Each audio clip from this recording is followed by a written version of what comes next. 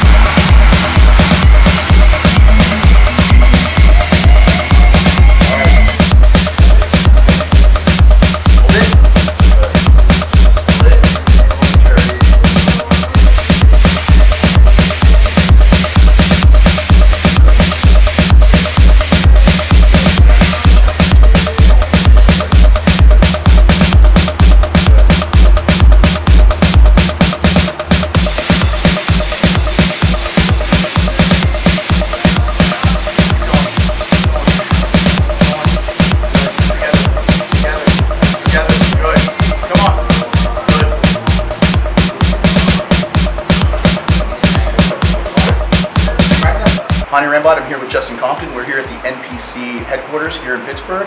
Uh, Masters Nationals just got done. We had a workout here at the NPC warehouse. We Did chest and shoulders today with Justin. How do you feel? Uh, I'm more out right now. I'm really tired, but I think we got a good session in. Yeah, I mean, you were sweating your ass off because it was hot as hell out here. It's humid. Um, I know Jeremy and Tyler had a really good workout. Now, you know, tell me about nine weeks out. A lot of people are asking why you didn't, why you're not doing the Olympia. You want to tell everybody why you're not doing the Olympia? Um, I think I made a good decision on sitting the show out this year. I want to, you know, have a full year off season like I did last year, and I want to be able to come back in and make a big splash and have a good impact next year. Hopefully, we're going to start with the Arnold in Columbus and get several shows, you know, a couple more shows throughout the year, and then go on to the Olympia from there. Oh, it was really good this year. It placed top three. Uh, you know, I know that a lot of fans out there are a little bit disappointed because of the fact that you're sitting it out. But I think that I agree with your decision. Obviously, we talked a lot about it, and we did the same thing with Phil for a couple of years. We sat him out, and then he was able to come in with the top three finish his first time. And Yeah. you know, that's basically the goal that we're looking for is going down there and having a huge impact. And obviously, going into the Arnold with a huge, um, you know, trying to go in for it with a big W. So um, I know this year while you're getting ready for the Arnold, we ended up using some products that ended up making some big differences in your body, Yeah. like AminoJect. Uh, you want to talk a little bit about AminoJect? Um, it's something that I've been incorporating in during my workouts just because it's fermented BCAAs, but it's not creatine based.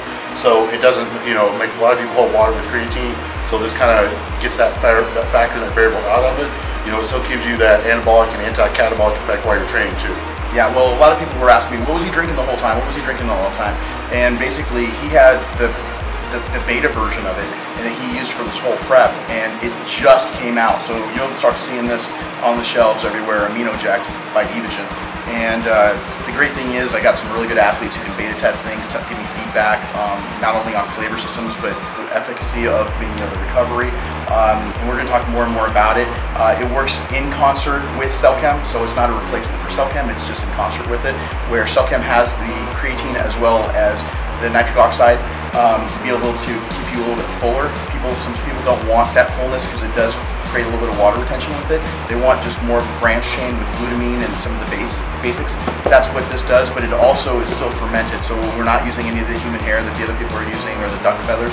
We're using the fermented base just like we did with EVP, with the leucine and EVP, and the branch chains that are in Cellchem. So it's still the same fermented quality um, in, in, in AminoJect. So a lot of people are already asking, what's the difference? What's the difference? And we're going to do more and more videos on this. So definitely, you know, follow us on YouTube, follow us on Instagram, and you'll be able to get more and more information and get a chance to win this product for yourself.